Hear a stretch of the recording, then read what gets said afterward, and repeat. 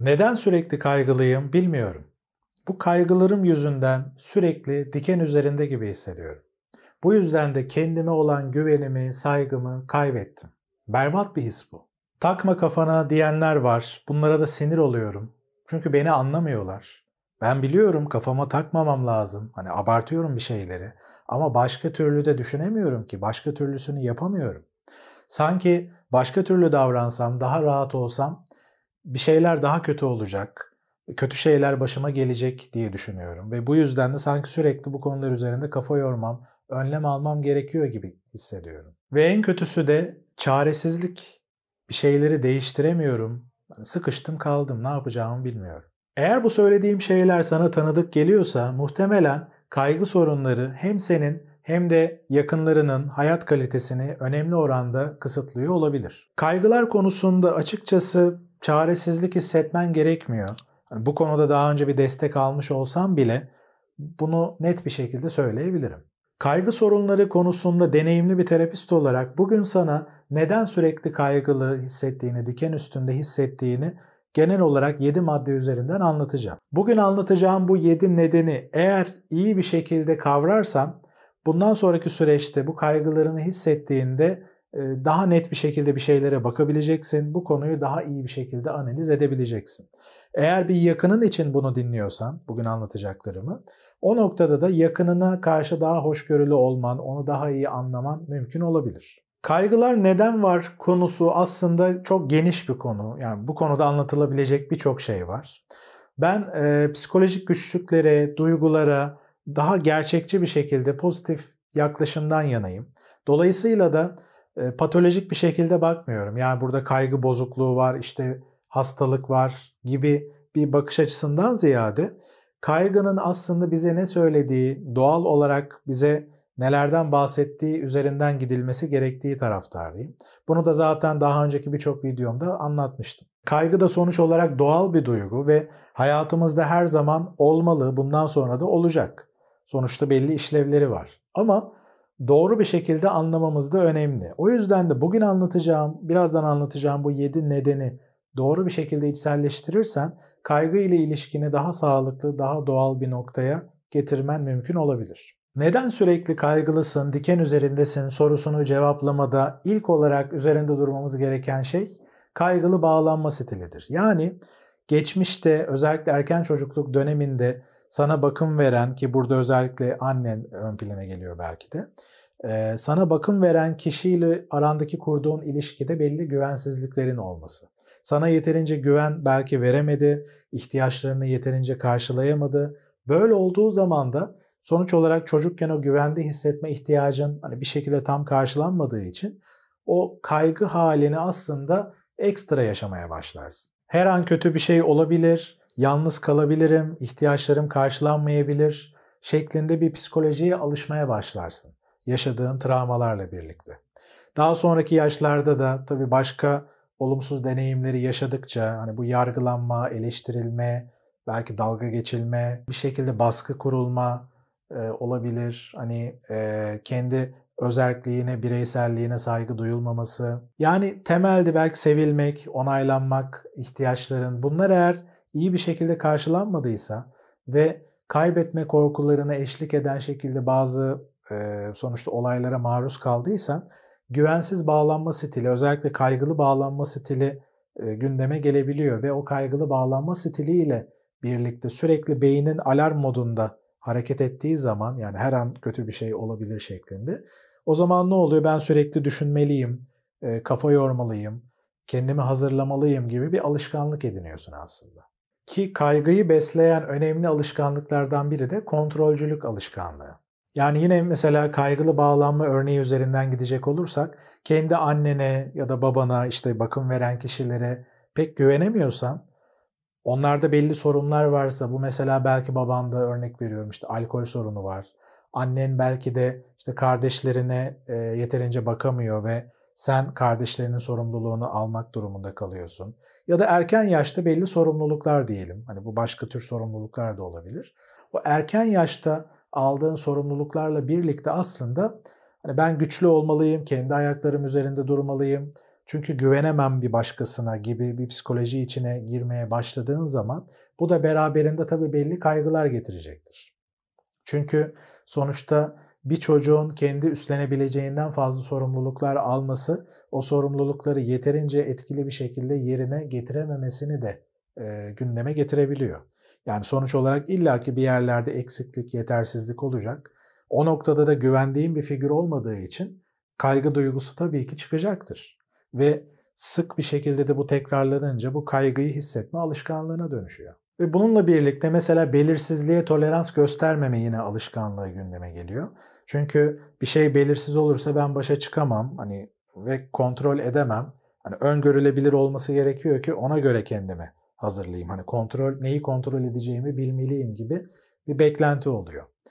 Şimdi mesela bir örnek verecek olursam diyelim ki kanser olmaktan e, korkuyorsun. Şimdi kanser korkusu da belki bir takıntı haline de gelmiş olabilir. Hatta obsesif kompulsif bozukluk kısır döngüsüne girecek kadar bu kaygıyı belki yoğun yaşıyorsun. Mesela o noktada biraz daha detaylı analiz ettiğimizde hani kanser olmaktan neden korkuyorsun konusuna baktığımızda işte modum düşer o zaman mutsuz olurum, hani mutsuz bir şekilde ölürüm gibi bir korkun var diyelim ki.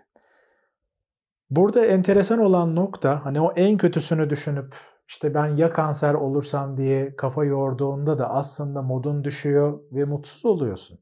Ve hayat boyu eğer ya kanser olursam korkusuyla yaşarsan hayat boyu modun düşük olacak ve mutsuz olacaksın ve o şekilde öleceksin zaten. Şimdi bu noktada kanser olup ölürsemden ne farkı var hani düşünmenin? Çünkü kanser olduğunda da olacak şey ne? Muhtemelen modun düşecek ve mutsuz öleceksin. Şu andan hiçbir farkı yok aslında. Dolayısıyla en kötüsünü düşündüğünde aslında kendini içine soktuğun şey en kötüsü başına geldiğinde karşılaşacağın şeyle kıyasladığımızda aslında o korkma halindeyken harcadığın enerji, çektiğin acı o korktuğun şey başına geldiğinde yaşayacağın acıdan çok daha fazla oluyor aslında topladığımızda.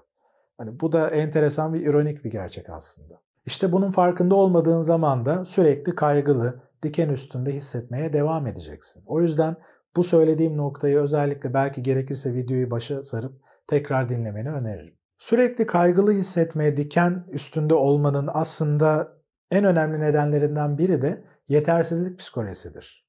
İşte ben kendime güvenemem, beceriksizim, belli eksikliklerim var, kusurlarım var gibi bir durum içindeysen ve kendine duyduğun saygı o kadar yüksek değilse o noktada şöyle bir durum yaşıyorsun aslında. Eğer ben bir sorunla karşılaşırsam yetersiz birisi olduğum için bu sorunu çözemem aslında. Gereken adımları atamam. Etkili bir şekilde başa çıkamam gibi bir şeyi de aslında beraberinde getiriyor bu yetersizlik psikolojisi. E böyle olduğu zaman da şimdi sonuç olarak ben bir sorunla karşılaşırsam bununla başa çıkamam gibi bir düşünceye inanıyorsam eğer tabii ki kaygılanacağım. O noktada aslında kendime güvenmeme sorunu nedeniyle de güvende hissetmiyorum aslında. Ben kendi kişisel yaşamımdan hani örnek verecek olursam kendimdeki o özgüveni ne kadar artırırsam aslında hani kaygı konusunda da aslında daha da rahatladığımı fark etmiştim. Hani sen de kendi hayatından belki bunu düşünebilirsin. Mesela belki bir anne olarak çocuğuna baktığında işte ya onu iyi yetiştiremezsem çünkü bende belli eksiklikler var, kusurlar var, tembelim, işte belli konularda yetersiz kalabilirim, duygularımı, işte öfke duygumu pek iyi yönetemeyebiliyorum. O yüzden de ya onun özgüvenini düşürürsem gibi belki bir korkun olabilir. Belki anne olmayı düşünüyorken daha baştan böyle bir kaygın olabilir. İşte bir yetersizlik psikolojin varsa yeni bir iş kurma konusunda diyelim ki bir dükkan açacaksın ya da bir girişim içindesin. Hani bu internetten de olabilir. Belki hani pandemi gibi nedenlerle hani bağlı bulunduğun sektörde sorunlar var ve yeni bir e, alan açmak istiyorsun ya da yeni bir işe başvurmak istiyorsun. İşte ya başaramazsam ya e, gerekenleri yapamazsam, üstesinden gelemezsem, ya iflas edersem gibi korkuları getirebilir bu yetersizlik psikolojisi. Ve o yüzden de bu yetersizlik hissiyle birlikte, bu düşünceyle birlikte aslında sürekli gergin, tedirgin oluruz. Ya da mesela işte hastalık korkum var diyelim ki. İşte o noktada da aslında belki de bu yetersizlikle yine bağlantılı. İşte ben konforuma düşkün biriyim, hasta olursam işte e, dayanamam, başa çıkamam, işte kronik bir hastalığım olursa eğer. Diğerlerine göre daha sabırsızım çünkü işte e, üstesinden gelemem, mutsuz olurum gibi kendine aslında yüklendiğin belli düşünceler vardır bu yetersizlik psikolojisi nedeniyle. İşte böyle bir altyapın varsa tabii ki sürekli kaygılı, gergin bir durum içinde olursun ve ne zaman özellikle bu konular tetiklenirse o kaygı halini içinde direkt e, sanki bir düğmeye basılmış gibi hissedersin. Sürekli kaygılı hissetmenin nedeni yani sürekli diken üstünde olmanın önemli bir nedeni de bilinç dışı düzeyde kaygıdan besleniyor olmaktır. Yani o sürekli kaygılı olma hali hatta kaygı sorunu, kaygı bozukluğu düzeyinden hani dışarıdan da bakıldığında hani görülebilecek şekilde böyle bir sıkıntıya sahip olmanın beraberinde getirdiği belli avantajlar, belli pozitif noktalar olduğuna bilinç dışı düzeyde hani bilincinde olmadan, farkında olmadan bir inancın olabilir. Mesela işte kaygılı, evhamlı anne aslında sorumluluk sahibi olan annedir. Yani çocuğunu seven bir anne tabii ki çok evhamlı, çok kaygılı olur şeklinde belki de bir kalıbın var içinde. Yani bu kalıbın birçok nedeni olabilir. Belki annen fazla yetersiz, fazla sorumsuzdu. O yüzden de sen tam zıt kutupta olmalıyım. Hani en ideal anne böyledir gibi düşünüp öyle belki de davranıyordun. Ya da işte çok kaygılı olmak aslında gerçekçi düşünmektir. Ben olabilecek en kötü senaryoyu düşünerek aslında her türlü duruma kendimi hazırlıyorum gibi bir belki e, durum içinde olabilirsin. Yani bilinç dışı düzeyde aslında kendini güvende hissetme amacıyla sürekli güvensizlik psikolojisini seçiyor olabilirsin farkında olmadan. Bunun dışında bu bilinç dışı nedenler olarak e, işte sorumluluk yükünü paylaştırmak ya da bağımlı ilişkiler gibi başka e, bilinç dışı bu kaygının aslında beslendiği durumlar da var. Eğer ilgi olursa hani bu konuda belki ayrı bir video çekebilirim. Yani kaygıyı besleyen e, şeyler neler diye e, ki çok önemli bir nokta. Eğer ilgini çektiyse aşağıdaki yorumlar bölümüne yazarsan eğer birçok talep olursa dediğim gibi bu konuya özel bir video da hazırlayabilirim. Sürekli kaygılı olma halini besleyen önemli bir nokta da kaynak eksikliğidir. Şimdi eğer hayatının belli alanlarında sorunlar varsa, işte belli ilgi alanların, hobilerin yoksa, bireysel alanda kendini besleyecek, tatmin edecek kaynakların yoksa, belki de tatmin edici, kendini yeterli hissettirecek, kendini adayacak bir işin, mesleğin, ilgi alanın, işte bir aktiviten yoksa ya da hayatında e, sana destek veren, hani bir şekilde yakınlığını hissettirecek e, kişiler az sayıdaysa ya da o kişilerle yeterince etkili bir etkileşimin yoksa o noktada da aslında kendini yalnız ve bir şekilde ortada boşlukta gibi hissedebilirsin. Kuru gelebilir sana hayat. Bunlar aslında yaşam kalitesinin düşüklüğüyle de alakalı konular. Yani yaşam kalitende kaliteli bir şekilde hayatını destekleyecek kaynakların eksikse bu noktada da o boşluk hissi kaygı duygusunu ekstra besleyip tetikleyebiliyor. Hani derler ya çok kafaya takıyor, kuruyor çünkü boş e, yaptığı bir şey yok. Bir şeyle uğraşmıyor. Kendini dinliyor sadece. Kendini dinlemekten başka yaptığı bir şey yok. Tam olarak aslında e, bundan bahsediyorum. Böyle tatmin kaynakları olmadığı zaman da hani kendini yetersiz, değersiz olarak görmeye bir nevi malzeme çıkmış oluyor. Ya da kendi potansiyelini yeterince ortaya koyacak aslında araçların olmuyor. Yani bunları hatırlatacak belli işaretler aslında olmuyor hayatında. Şimdi buraya kadar hep kendi sorumluluğunda, kendi payında olan noktalardan bahsettik ama hani dış çevre koşullar da bu sürekli kaygılı olma halini tetiklemez mi? Tabii ki.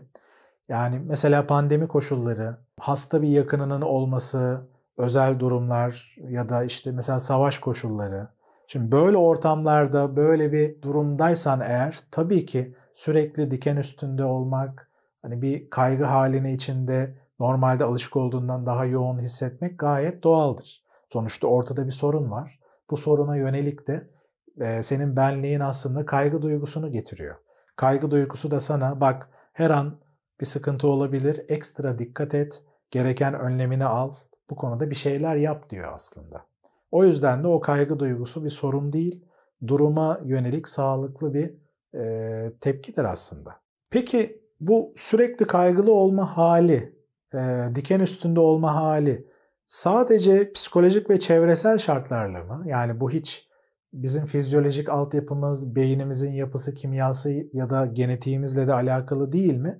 Tabii ki bunlarla da ilişkili noktalar var. Beyin yapısındaki belli durumlar, hormonal etkenler gibi belli konular, fizyolojik anlamdaki aslında etkenler, tıbbi durumlar bizim aslında e, duygularımızı da doğrudan tabii ki etkiliyor.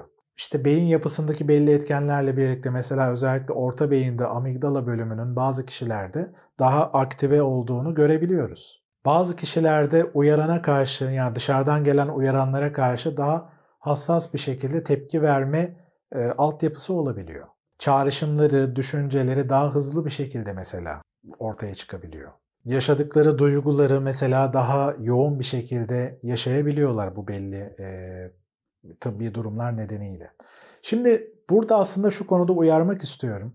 Bunu dikkat ettiysen en sona aldım. Çünkü bu doğrudan senin müdahale edeceğin, yönlendireceğin bir konu değil. Bu konuda tabii ki bir doktora gidip aslında onun hani bir ilaç desteği yapması ya da başka tür tedavi noktalarını uygulamasını beklersin. Girişimleri uygulamasını beklersin. Senin doğrudan ekstra yapabileceğin bir şey yok. Hani sağlıklı beslenmek, sağlığına dikkat etmekten ziyade. Şimdi e, bu noktada bu aslında bir bahane olarak görülebiliyor. Birçok kaygı sorunu yaşayan kişilerde buraya kadar anlattığım noktalar ihmal edilip görmezden gelinip ya da sadece tespit düzeyinde kalıp uygulamaya dökülmedikçe aslında kişinin elinde ne kalıyor bahane edebileceği? Ben zorlanıyorum çünkü işte kodum bozuk. Yani bir nevi beyin kimyamda sıkıntı var. Benim tıbbi bir durumum var. Bir hastalığım var. Bu yüzden benim yapabileceğim bir şey yok gibi bir şeyin arkasına sığınıyor. Bu bir nevi biraz belki çaresizlikten de olabilir. Çünkü sonuçta belki özellikle tıbbi kökenli işte bir doktora, bir psikiyatriste diyelim e, gittin ve psikiyatrist de daha geleneksel şekilde çalışıyor. Yani sadece ilaç verme ve belli tavsiyelerde bulunma gibi. Hani daha düzenli bir terapi anlamında bir destek vermiyor diyelim ki. Ki terapist olan psikiyatristler de çok sayıda var. Bu konular üzerinde pek durulmadığı zaman o zaman elde kalan şey sadece ilaç oluyor. Hani tıbbi durum. E, ilacı da kullanıyor ama bir şekilde fayda sağlamıyorsun belki de. Hani uzun vadede yine kaygılı halin devam ediyor. Ya da ilacı azaltmaya başladığında ya da bıraktığında kaygılar tekrar geliyor aynı şekilde. Bu noktada da o zaman bunun tek açıklaması olabilir. Bendeki tıbbi durum sıkıntılı bir şey ve tıp da bu konuda çaresiz gibi belki bakıyorsun. Bu çok rahatsız edici bir durum gerçekten ve açıkçası gerçekliği de yansıtmıyor. Az önce anlattığım tüm etkenlere rağmen yine de kaygıyı yoğun şekilde yaşıyorsan o zaman diyebiliriz ki evet tıbbi durumlar var burada. Ama zaten böyle durumlarda da hani ilaç desteğini aldığında, hani gereken tıbbi müdahaleler yapıldığında o noktalar da belli oranlarda aslında stabilize edilebiliyor. Bunu nereden biliyoruz? İşte şizofreni, bipolar bozukluk gibi tıbbi yönü ön planda olan yani fizyolojik anlamda yapısal konular ön planda olan sorunlarda aslında ilaçların güçlü bir şekilde etki ettiğini biliyoruz. Bunun dışındaki ama etkenler de özellikle önemli. Kaygı sorunlarında yani sürekli tetikte olma halinde açıkçası meselenin büyük bir bölümünün buraya kadar anlattığım noktalarda da olduğunu söyleyebilirim. Yani o noktalar ihmal edilip sadece ilaçlar üzerinden, tıbbi durum üzerinden gidilirse bir şeyler neredeyse tüm durumlarda eksik kalacaktır. Ha, bazı kişilerde vardır. Hani ben sadece ilaç kullandım ve iyi geldi. O kişiler aslında benim buraya kadar anlattığım daha önceki noktaları kendi kendilerine düşünüp bir şekilde çözümlemiş oluyorlar. Belki hayatlarına giren kişiler, çevresindeki kişiler, okudukları kitaplar, izledikleri videolardan aldıkları şeylerle kendi kendilerine zaten bir şeyleri çözümlemiş oluyorlar.